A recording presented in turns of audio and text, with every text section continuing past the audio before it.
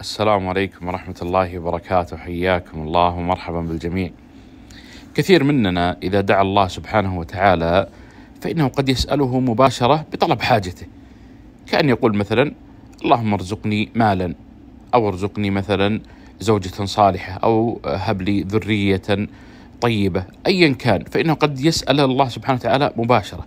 وهذا الشيء لا إشكال فيه لكن هناك أجمل وأولى وأدعى للإجابة وهو أن يتقدم الدعاء آه، ذكر لله سبحانه وتعالى وثناء عليه وبيان لحاجتك لهذا الأمر ثم تكون السؤال.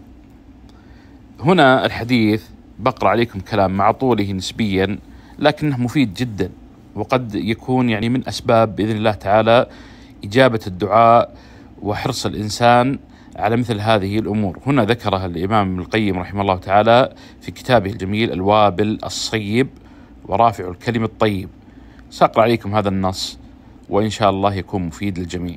في حديث الإمام ابن القيم رحمه الله تعالى عن أن الذكر أفضل من الدعاء لأن ذكر ثناء على الله عز وجل بجميل أوصافه وآلائه وأسمائه والدعاء سؤال العبد حاجته فأين هذا من هذا. يعني أن ذكر أفضل. ثم هنا قال آه، وروى أبو داود والنسائي من حديث أنس أنه كان مع, كان مع النبي صلى الله عليه وسلم جالسا ورجل يصلي ثم دعا. اللهم إني أسألك بأن لك الحمد. لا إله إلا أنت المنان. بديع السماوات والأرض. يا ذا الجلال والإكرام. يا حي يا قيوم. فقال النبي صلى الله عليه وسلم لقد دعا الله باسمه الأعظم. الذي إذا دعي به أجاب وإذا سئل به أعطى. فأخبر النبي صلى الله عليه وسلم أن الدعاء يستجاب يستجاب إذا تقدمه هذا الثناء والذكر وأنه اسم الله الأعظم فكان ذكر الله عز وجل والثناء عليه أنجح ما طلب به العبد حوائجه. وهذه فائدة أخرى من فوائد الذكر والثناء أنه يجعل الدعاء مستجابا. ثم بعد ذلك بدأ بالتفصيل وأعطاك بعض النماذج والشواهد. يقول هنا فالدعاء الذي يتقدمه الذكر والثناء أفضل وأقرب إلى الإجابة من الدعاء المجرد. يعني الدعاء المجرد لا إشكال فيه ولكن الدعاء الذي يسبقه ذكر الله سبحانه وتعالى والثناء عليه أفضل وأدعى وأقرب للإجابة. قال فإن انضاف إلى ذلك إخبار العبد بحاله ومسكنته وافتقاره واعترافه كان أبلغ في الإجابة وأفضل. فلاحظ الآن أول شيء أنه يكون فيه ثناء على الله سبحانه وتعالى. ثم بيان لمسكنتك وضعفك وافتقارك ثم سؤال الحاجة. فهنا يكون هي المرتبة الثالثة. آه قال هنا آه وافتقاره واعترافه كان أبلغ في الإجابة وأفضل فإنه يكون قد توسل إلى المدعو بصفات كماله وإحسانه وفضله وعرض بل صرح بشدة حاجته وضرورته وفقره ومسكنته فهذا المقتضي منه وأوصاف المسؤول مقتضى من الله فاجتمع المقتضي من السائل والمقتضي من المسؤول في الدعاء فكان أبلغ وألطف موقعا وأتم معرفة وعبودية. ثم أعطاك الآن نموذج دنيوي ولله سبحانه وتعالى المثل الأعلى لكن يريد يبين لك يعني أثر هذا الأمر. قال هنا وأنت ترى في الشاهد يعني في المشاهدة. ولله المثل الأعلى أن الرجل إذا توسل إلى من يريد معروفه بكرمه وجوده وبره وذكر حاجته هو وفقره ومسكنته كان أعطف لقلب المسؤول وأقرب لقضاء حاجته.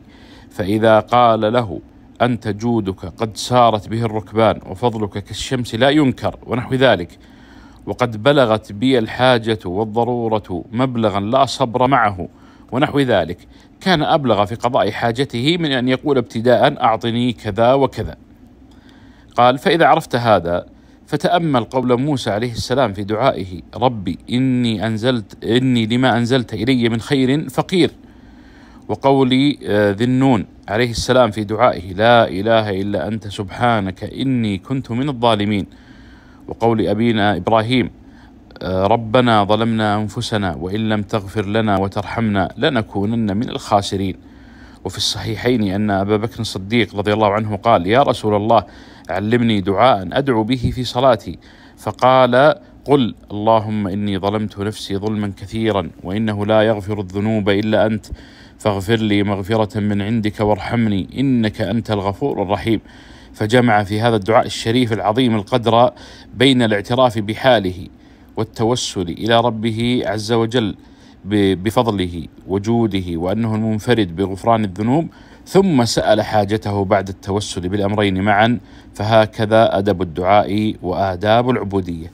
الخلاصة مما سبق أن الإنسان لا يستثقل هذه المقدمة ويظن أنها قد تشغله عن سؤال الحاجة لأن هذه المقدمة هي أفضل والله سبحانه وتعالى يعلم حاجتك.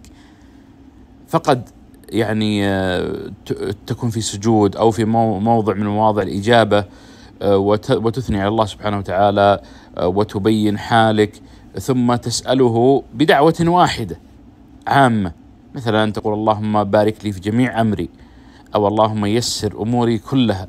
فيستجاب لك وتتيسر كل الأمور بدل من التفصيل الطويل الذي لا يسبقه ثناء على الله سبحانه وتعالى وبيان لحالك وافتقارك إلى الله سبحانه وتعالى. فالبعض قد يظن أن مجرد السؤال هو المهم وأن ما قبله قد يكون أقل أهمية، بينما الواقع هو العكس، أن ما كان قبله هو المهم.